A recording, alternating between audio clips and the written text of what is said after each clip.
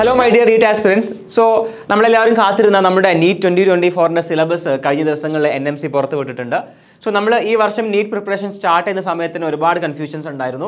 Because ഈ വർഷം തൊട്ടാണ് നമ്മുടെ N C R T syllabus reduce ചെയ്തിട്ടുള്ളത് അല്ലേ? കഴിഞ്ഞ വർഷം പഠിച്ചുകൊണ്ടിരുന്ന ആ ഒരു സിലബസ് നിന്ന് കുറേ ഭാഗങ്ങൾ കട്ട് ചെയ്ത് റെഡ്യൂസ് ചെയ്തിട്ടുള്ള ഒരു പുതിയ സിലബസാണ് നമ്മൾ ഈ പ്രാവശ്യം തൊട്ട് പഠിച്ചു കൊടുക്കുന്നത് അപ്പോൾ നമ്മൾ two thousand twenty four May ഫിഫ്ത്തിന് വരാൻ പോകുന്ന നീറ്റ് എക്സാമിന് നമ്മൾ പഴയ എൻ സി ആർ ടി വെച്ചിട്ടാണോ പഠിക്കേണ്ടത്? അല്ലെങ്കിൽ പുതിയ എൻ സി ആർ ടിയിലെ കണ്ടന്റ് മാത്രം പഠിച്ചാൽ മതിയോ?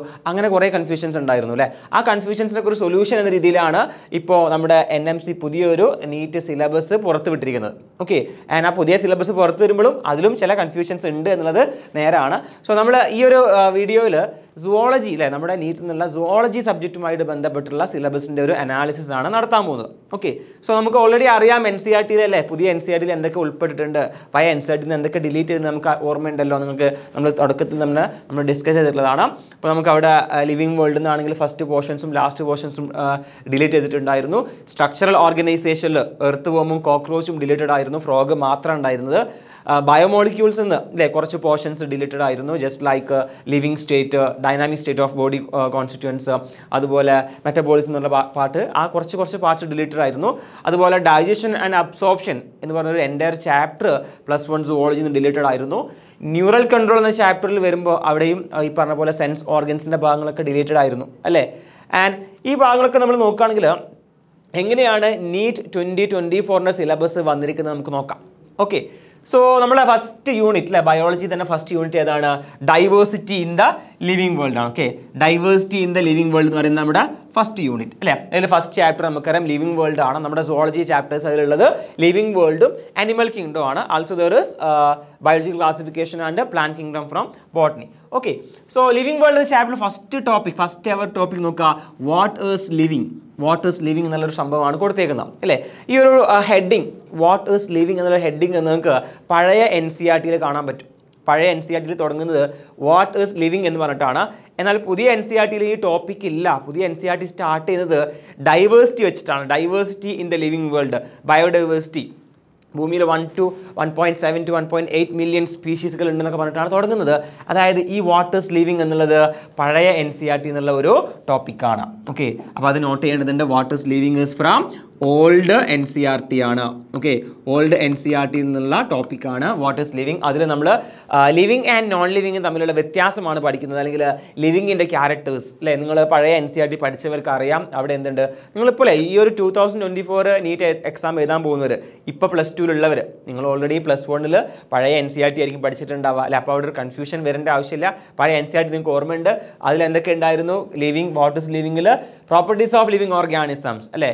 ഗ്രോത്ത് റീപ്രൊഡക്ഷൻ മെറ്റബോളിസം കോൺഷ്യസ്നെസ് അതുപോലെ സെല്ലുലാർ ഓർഗനൈസേഷൻ അങ്ങനെ കുറേ പ്രോപ്പർട്ടീസ് അതിൽ തന്നെ defining property non defining property എന്നൊക്കെ പറഞ്ഞിട്ട് നമ്മൾ പഠിച്ചിട്ടുണ്ട്. അപ്പോൾ ആ ഒരു സംഭവം നിങ്ങൾ പഴയ എൻ സി ആർ ടിയിൽ നിന്ന് പഠിക്കേണ്ടി വരും. വാട്ട് ഈസ് ലിവിങ് എന്നുള്ളത് ഓൾഡ് എൻ സി ആർ ടിയിൽ നിന്ന് വരുന്ന ടോപ്പിക്കാണ് ഓക്കെ ലിവിങ് വേൾഡ് നിന്ന് ബാക്കി നോക്കുകയാണെങ്കിൽ ബാക്കി എല്ലാ ടോപ്പിക്സും പുതിയ എൻ സി ആർ ടി തന്നെയാണ്. നമ്മുടെ ടാക്സോണമി അതിലുണ്ട്. ടാക്സോണമി ഹൈറാർക്കി ഉണ്ട്. ബൈനോമിയൽ നോമൻ ക്ലേച്ചർ ഉണ്ട്. ആൻഡ് പുതിയ എൻ സി ആർ ടിയിൽ ഡിലീറ്റ് ചെയ്ത പോലെ തന്നെ ടാക്സോണമിക്കൽ എയ്ഡ്സ് അല്ല ലാസ്റ്റ് വരുന്ന ടോപ്പിക്കാണ് ടാക്സോണമിക്കൽ എയ്ഡ്സ് അവിടെയാണ് നമ്മൾ മ്യൂസിയം ഹെർബേറിയം ഒക്കെ പഠിച്ചിട്ടുള്ളത്. ആ ടാക്സോണമിക്കൽ എയ്ഡ്സ് എന്ന് പറയുന്ന ഭാഗം എന്താണ്? ഡിലീറ്റഡ് ആണ്. As our new N C R T പുതിയ എൻ സി ആർ ടിയിൽ കൊടുത്ത പോലെ തന്നെ. അപ്പോൾ അതാണ് നമുക്ക് ലിവിങ് വേൾഡിനെ കുറിച്ച് പഠിക്കാനുള്ളത്. അപ്പോൾ ലിവിങ് വേൾഡ് നോക്കുക. ലിവിങ് വേൾഡ് പുതിയ എൻ സി ആർ ടി തന്നെയാണ്.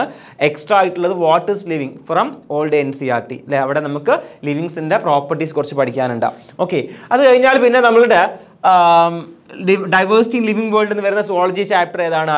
അനിമൽ കിങ്ഡം ആണ് അല്ലേ? This is our animal kingdom syllabus ആണ്.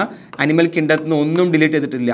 നിങ്ങൾക്കറിയാം പഴയ എൻ സി ആർ ടിയും പുതിയ എൻ സി ആർ ടിയും ഒക്കെ സെയിം ആണ് for the chapter animal kingdom അതുപോലെ തന്നെ ഉണ്ട്. അതിലൊന്നും എന്നിട്ടില്ല ഡിലീറ്റ് ചെയ്തിട്ടില്ല. ഓക്കെ ഇതിന് ഇവിടെ ഉള്ളത് ബയോളജി ക്ലാസിഫിക്കേഷൻ ഉണ്ട് പ്ലാൻ കിങ്ഡം ഉണ്ട്. നമ്മളത് ഡിസ്കസ് ചെയ്യുന്നില്ല. സോളജി മാത്രമാണ് ഞാൻ പറയുന്നത് കേട്ടോ. പ്ലാൻ കിങ്ഡത്തിലൊക്കെ നമ്മളെ പുതിയ എൻ സി ആർ ടിയിൽ ഇല്ലാത്ത പോലെ തന്നെ ആൾട്ടർനേഷൻ ഓഫ് ജനറേഷൻ ഒന്നും ഇതിൽ കൊടുത്തിട്ടില്ല. Then structural organisation in animals and പ്ലാന്റ്സിൽ നമുക്ക് ഉള്ള ചാപ്റ്റേഴ്സ് ഏതൊക്കെയാണ്? ഒന്ന് സ്ട്രക്ചറൽ ഓർഗനൈസേഷൻ ഇൻ അനിമൽസ് ഉണ്ട്. അതുപോലെ ബയോമോളിക്യൂൾസ് ഉണ്ട്. ഇവിടെ നമ്മൾ നോക്കുകയാണെങ്കിൽ സ്ട്രക്ചറൽ ഓർഗനൈസേഷൻ ഇൻ അനിമൽസ് എന്ന ചാപ്റ്ററിൽ നിങ്ങൾക്ക് കാണാൻ പറ്റും. അനിമൽ ടിഷ്യൂസ് കൊടുത്തിട്ടുണ്ട്. അനിമൽ ടിഷ്യൂസ് ഈ പറഞ്ഞ പോലെ തന്നെ ഓൾഡ് എൻ സി ആർ ടിയിലുള്ള ടോപ്പിക്കാണ് animal tissues old N C R ടിയിലുള്ള ടോപ്പിക്കാണ് പുതിയ എൻ സി ആർ ടിയിൽ നിങ്ങൾക്ക് കാണാൻ പറ്റൂല. Okay animal tissue old N C R T ടോപ്പിക്കാണ് അതിൽ നിങ്ങൾക്ക് ഡിഫറെന്റ് ആയിട്ടുള്ള ടിഷ്യൂസ് പഠിക്കാനുണ്ട്. എപ്പിത്തീലിയൽ ടിഷ്യൂ ഉണ്ട്. എപ്പിത്തീലിയൽ ടിഷ്യൂവിൽ തന്നെ ഡിഫറെന്റ് ഉണ്ട്. Squamous epithelium cuboidal epithelium columnar epithelium glandular epithelium then connective tissue ഉണ്ട്. കണക്റ്റീവ് ടിഷ്യൂ തന്നെ ഡിഫറെന്റ് ടൈപ്പ് ഉണ്ട്. Okay there is loose connective tissue ഉണ്ട് ഡെൻസ് കണക്റ്റീവ് ടിഷ്യൂ ഉണ്ട് dense regular dense irregular specialised connective tissue അതുപോലെ നമുക്ക് muscular and neural tissues ഒക്കെ പഠിക്കാനുണ്ട്. അപ്പോൾ ആ ഒരു topic old N C R T എന്നുള്ളതാണ്. പുതിയ revised N C R T നിങ്ങൾക്ക് അത് കാണാൻ കഴിയൂല. ഓക്കെ ബാക്കി ഇവിടെ morphology and anatomy of an insect എന്ന് ഇവിടെ കൊടുത്തിട്ടുണ്ട്. Okay morphology and anatomy of an insect ഇത് പഴയ സിലബസിൽ ഉണ്ടായിരുന്ന കാര്യമാണ് ഓഫ് ആൻ ഇൻസെക്ട് കോക്രോച്ച് അങ്ങനെയായിരുന്നു പഴയ സിലബസ് എന്നാൽ സിലബസ് മാറ്റി ബട്ട് അവർ ഇൻസെക്ട് എന്നുള്ളത് മാറ്റാൻ മറന്നു പോയതാണ് എന്നാണ് തോന്നുന്നത്. ബിക്കോസ് ഇവിടെ കൺഫ്യൂഷനിങ് ആണ് because as an insect frog എന്ന് കൊടുത്തിട്ടുണ്ട്. അല്ലെ? നമുക്കറിയാം ഫ്രോഗ് ഇൻസെക്റ്റ് അല്ല ഫ്രോഗ് ആംഫീബൻ ആണ്. അപ്പോൾ അവർക്കൊരു ചെറിയൊരു എറവ് സംഭവിച്ചതായിരിക്കാം. അല്ലെ? അവർ ഉദ്ദേശിച്ചത് ഫ്രോഗ് തന്നെയാണ്. ബിക്കോസ് പുതിയ എൻ സി ആർ ടിയിൽ ഉള്ളത് എന്താണ്? പുതിയ എൻ സി ആർ ടി നമുക്ക് പഠിക്കാനുള്ളത് ഫ്രോഗ് ആണ്. അപ്പോൾ ഫ്രോഗിന്റെ തന്നെയായിരിക്കും പഠിക്കേണ്ടി വരിക. എന്നാൽ അവിടെ ഇൻസെക്ട് എന്ന് കൊടുത്തിട്ടുണ്ട്. അത് ഒരു എറർ ആയിരിക്കാനാണ് സാധ്യത. അല്ലേ? അല്ലെങ്കിൽ നമുക്ക് കഴിഞ്ഞ വർഷത്തെ സിലബസിലാണെങ്കിൽ ഇൻസെക്ട് കോക്രോച്ച് എന്നായിരുന്നു കൊടുത്തിട്ടുണ്ടായിരുന്നത്. ഓക്കെ അപ്പോൾ അത് ശ്രദ്ധിക്കുക. ആൻഡ് ബാക്കി എല്ലാം ഓക്കെ ആണല്ലോ. ബാക്കി നമ്മൾ അനിമൽ ടിഷ്യൂസും അതുപോലെ ഈ പറഞ്ഞ ഫ്രോഗിനെ കുറിച്ചുമാണ് പഠിക്കാനുള്ളത്. എർത്തുവമും കോക്രോച്ചും നമുക്ക് പുതിയ നീറ്റ് സിലബസിൽ ഇൻക്ലൂഡഡ് അല്ല എന്ന് വേണം മനസ്സിലാക്കാൻ. ഓക്കെ ആൾസോ ഇവിടെ നമുക്ക് എന്തുണ്ട്? ബയോമോളിക്യൂൾസ് അല്ലേ? സ്ട്രക്ചറൽ ഓർഗനൈസേഷൻ അല്ല സോറി സ്ട്രക്ചറൽ ഓർഗനൈസേഷൻ നമുക്ക് സ്ട്രക്ചറൽ ഓർഗനൈസേഷൻ പഠിക്കാനുള്ളൂ. സെൽ സ്ട്രക്ചർ ആൻഡ് ഫംഗ്ഷനിൽ നമുക്ക് എന്തുണ്ട്? ബയോമോളിക്യൂൾസ് എന്ന് പറയുന്ന ചാപ്റ്റർ ഉണ്ട്. ഇവിടെ സെൽ സെൽ എന്ന് പറഞ്ഞ ചാപ്റ്റർ ഉണ്ട്. അതുപോലെ ബയോമോളിക്യൂൾസ് ബയോമോളിക്യൂൾസ് നമ്മൾ പറഞ്ഞ പോലെ തന്നെ പുതിയ എൻ സി ആർ ടിയിലുള്ള ടോപ്പിക്സ് അതായത് നമ്മളുടെ നമ്മൾ പറഞ്ഞിരുന്നു അടുത്ത ലിവിങ് സ്റ്റേറ്റ് അതുപോലെ dynamics of body constituents and metabolism അല്ലേ? അനബോളിസം കാറ്റബോളിസം എന്നൊക്കെ പറയുന്ന ആ മെറ്റബോളിസം എന്ന് പറഞ്ഞാൽ ചെറിയൊരു ഭാഗം. നമ്മുടെ ആ ഒരു ബയോമോളിക്യൂൾ ചാപ്റ്ററിന്റെ സെന്ററിൽ വരുന്ന ചെറിയൊരു പോർഷൻ മാത്രമാണ് ഡിലീറ്റഡ് ആയിട്ടുള്ളത്. അത് നമുക്ക് പുതിയ എൻ സി ആർ ടിയിൽ കാണാൻ പറ്റൂല. ഓക്കെ ആൾസോ പുതിയ എൻ സി ആർ ടിയിൽ നാച്ചർ ഓഫ് ലിങ്കിങ് ബോണ്ട് എന്ന് പറയുന്നൊരു ഭാഗം മിസ്സിംഗ് ആണ്. എന്നാൽ അത് നിങ്ങൾ എന്തായാലും നിങ്ങൾ ബയോമോളിക്യൂൾസ് പഠിക്കുമ്പോൾ സ്ട്രക്ചേഴ്സ് പഠിക്കുമ്പോൾ എന്തായാലും ബോണ്ട് നിങ്ങൾ സ്വാഭാവികമായിട്ടും നിങ്ങൾ പഠിക്കുകയും പഠിപ്പിക്കുകയും ചെയ്യുന്നതാണ്. അതിൽ പ്രശ്നമില്ല. സോ ബാക്കി ബയോമോളിക്യൂൾസ് എന്നുള്ള എല്ലാ ബയോമോളിക്യൂൾസും ഇൻക്ലൂഡഡ് ആണ്. അമിനോ ആസിഡ്സ് ഉണ്ട് പ്രോട്ടീൻസ് ഉണ്ട് കാർബോഹൈഡ്രേറ്റും ലിപ്പിഡ്സും ന്യൂക്ലിക് ആസിഡും ഒക്കെ അതിൽ ഇൻക്ലൂഡഡ് ആണ്. ആൾസോ എൻസൈം കൈനറ്റിക്സും അതിൽ ഇൻക്ലൂഡഡ് ആണ്. ഓക്കെ അപ്പോൾ അതിൽ വേറെ കൺഫ്യൂഷൻസ് ഒന്നുമില്ല. ഓക്കെ പിന്നെ നമ്മൾ നമുക്കറിയാം ആ ചാപ്റ്റേഴ്സ് കഴിഞ്ഞാൽ പിന്നെ പ്ലസ് വൺ ചാപ്റ്റേഴ്സിൽ വരുന്നത് എന്താണ്? ഹ്യൂമൻ ഫിസിയോളജിയാണ് ഓക്കെ പിന്നെ വരുന്നത് നമ്മളുടെ ഹ്യൂമൻ ഫിസിയോളജി എന്ന് പറയുന്ന ഭാഗമാണ്. ഓക്കെ അപ്പോൾ നമുക്ക് ഹ്യൂമൻ ഫിസിയോളജി നോക്കാം. ഹ്യൂമൻ ഫിസിയോളജി നിങ്ങൾക്ക് അറിയാവുന്ന പോലെ തന്നെ ഡൈജഷൻ അല്ലേ? ഡൈജഷൻ എന്ന് പറയുന്ന ചാപ്റ്റർ എന്താണ്? ഡിലീറ്റഡ് ആണ്.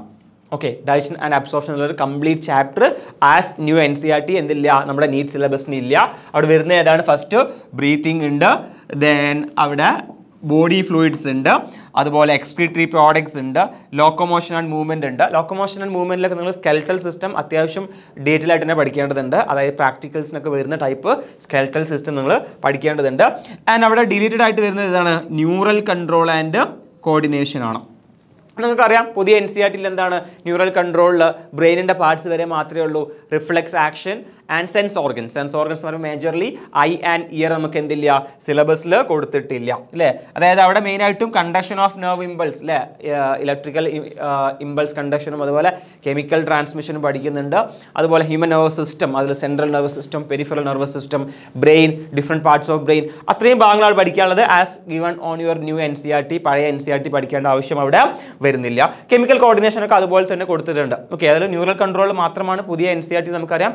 ഡിലീറ്റഡ് ഉണ്ട്. അതുപോലെ തന്നെയാണ് ഇവിടെ നിങ്ങൾക്ക് കാണാൻ പറ്റുക ഓക്കെ പിന്നെ നമ്മുടെ പ്ലസ് ടുവിലെ പ്ലസ് ടു സുവോളജിയിലേക്ക് വന്നു കഴിഞ്ഞാൽ ഓക്കെ പിന്നെ വരുന്ന ഏതാണ്? റീപ്രൊഡക്ഷൻ റീപ്രൊഡക്ഷനിലൊന്നും യാതൊരു ചേഞ്ചും ഇല്ല അല്ലേ? ഹ്യൂമൻ റീപ്രൊഡക്ഷനും അതുപോലെ റീപ്രൊഡക്റ്റീവ് ഹെൽത്തും അവിടെ തന്നെ ഉണ്ട്. നിങ്ങൾക്കറിയാം. ബോട്ടണിയിലുള്ള റീപ്രൊഡക്ഷൻ ഇൻ ഓർഗാനിസം എന്ന് പറയുന്ന ഫസ്റ്റ് ജനറൽ ചാപ്റ്റർ അതിൽ ഒഴിവാക്കിയിട്ടുണ്ട്. ബാക്കി നമ്മുടെ സോളജി ടോപ്പിക്കിൽ വരുന്ന രണ്ട് റീപ്രൊഡക്ഷൻ ചാപ്റ്ററും അല്ലേ? ഹ്യൂമൻ റീപ്രൊഡക്ഷനും റീപ്രൊഡക്റ്റീവ് ഹെൽത്തും കംപ്ലീറ്റ്ലി കൊടുത്തിട്ടുണ്ട്. അത്യാവശ്യം നല്ല വെയിറ്റേജ് ഉള്ള ചാപ്റ്റേഴ്സ് ആണ് കേട്ടോ ഒക്കെ നമുക്ക് നമ്മൾ പഴയ ഉണ്ടായിരുന്ന ചാപ്റ്റേഴ്സ് ചിലത് ഡിലീറ്റ് ചെയ്യുമ്പോൾ അതുപോലെ ടോപ്പിക്സ് ഡിലീറ്റ് ചെയ്യുമ്പോൾ അതിനനുസരിച്ചിട്ട് ഇപ്പോൾ ഉള്ള ടോപ്പിക്സ് എന്നുള്ള വെയിറ്റേജ് ചില ചാപ്റ്റേഴ്സിന്റെ ചില ടോപ്പിക്സിന്റെ വെയിറ്റേജ് കൂടാൻ ചാൻസ് ഉണ്ട്. പിന്നെ വരുന്നത് genetics and evolution genetics and എവല്യൂഷനിൽ first chapter നമുക്കറിയാം. Principles of inheritance and variation ആണ്. ആ ചാപ്റ്ററിന് ഒന്നും തന്നെ നമുക്ക് ഡിലീറ്റഡ് ഇല്ല. അതുപോലെ മോളിക്കുലാർ ബേസിസ് ഓഫ് ഇൻഹെറിറ്റൻസ് അല്ലേ അവിടെ നമുക്ക് ഒന്നും തന്നെ ഡിലീറ്റഡ് ഇല്ല. ആക്ച്വലി നമ്മുടെ പ്ലസ് ടു ടോപ്പിക്കിൽ എൻ സി ആർ ടി പഴയ എൻ സി ആർ ടി പുതിയ എൻ സി ആർ ടിയും എന്താണ്? സെയിം ആണ്.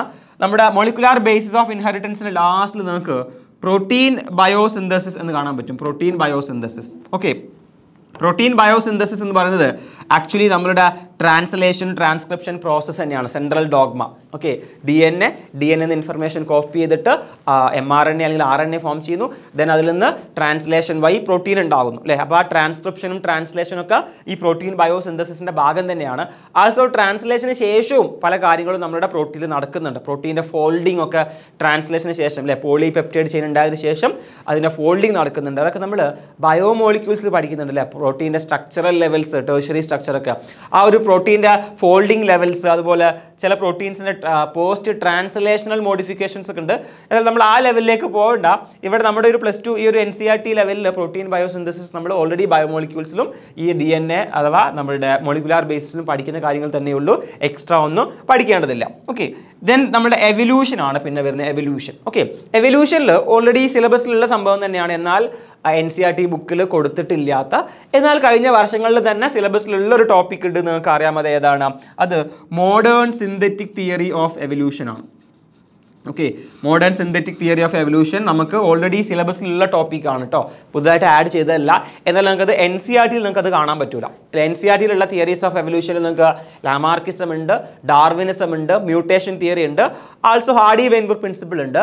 എന്നാൽ ഇവിടെ modern synthetic theory of evolution ഒരു സിന്തറ്റിക് തിയറിയാണ് അതായത് നമ്മുടെ ഡാർവിന്റെ തിയറിയും അതുപോലെ മെൻഡീലിയൻ ജെനറ്റിക്സ് അല്ലെങ്കിൽ ഹ്യൂഗോ ഡിവിരീസിന്റെ ഒക്കെ ജെനറ്റിക്കൽ തിയറിയും കൂടി മിക്സ് ചെയ്തിട്ടുണ്ടായ ഒരു synthetic തിയറിയാണ് modern synthetic theory of evolution അതായത് ഡാർവിൻ തിയറിയിൽ നമ്മൾ എന്തിനെക്കുറിച്ച് ഡിസ്കസ് ചെയ്യുന്നില്ല?